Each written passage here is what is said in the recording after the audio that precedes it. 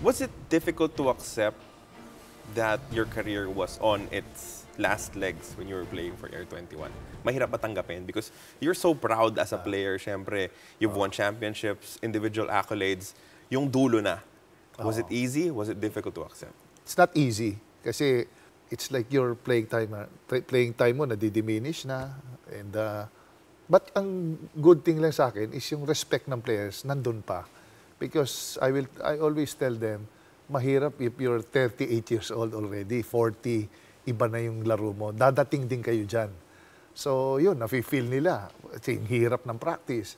I, I'm there for them. Kung gaano kahirap ang training nandun tayo.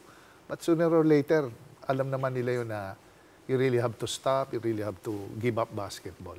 Unlike other players, you had a very fast transition from an active player to having a role as a coach. Was this something that you always saw for yourself? No, not yet. Kasi nung pag-retire ko, I don't know what to do. Sabi ko, retire, rest, but uh, madali ako mabore. So, I went into coaching. Yung mga, may mga friends ako na, Coach, tulungan mo. I started as skills coach.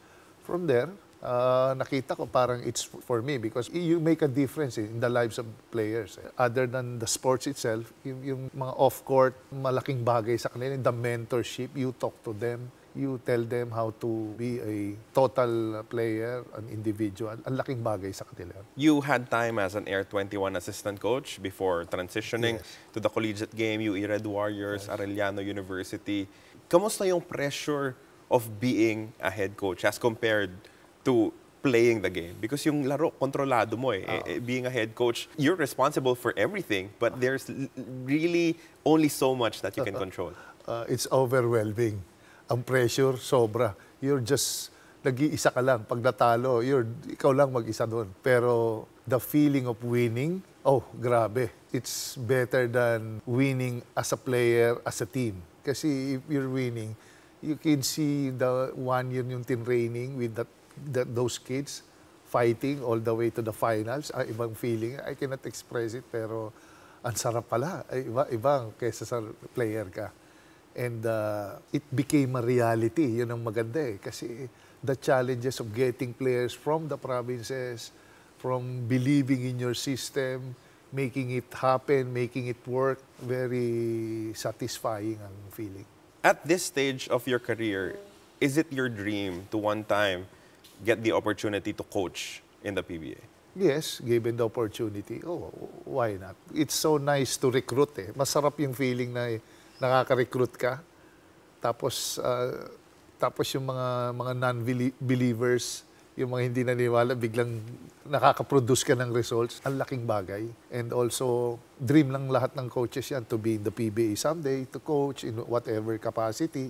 And uh, syempre, matagal ka na nasa pro, merong mga things na that, that can help the team.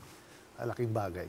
PBA fans would always look back in your era, from the late 80s to the mid 90s, as some of the most fun that they've had in following the PBA. When people talk about Jerry Codinera, ano yung gusto mong sabihin nila? I think I was able to do my part to the best of my my ability and to be able, I, I played even if I'm injured kung ano man ang my situation there I, I gave them all my best. Kasi basketball there's so many factors involved. Minsan hindi na alam ng fans yun eh. Pilay ka injured ka you have a broken orbital socket dito. Wala na hindi ko na kinuwento yun. Basta I just played kasi it's a Ginebra game. Ginebra pure classico yun eh, Manila classico. So I just want to be, I just want to tell them that I gave my all sa kanila, sa, sa basketball. I will never disappoint them.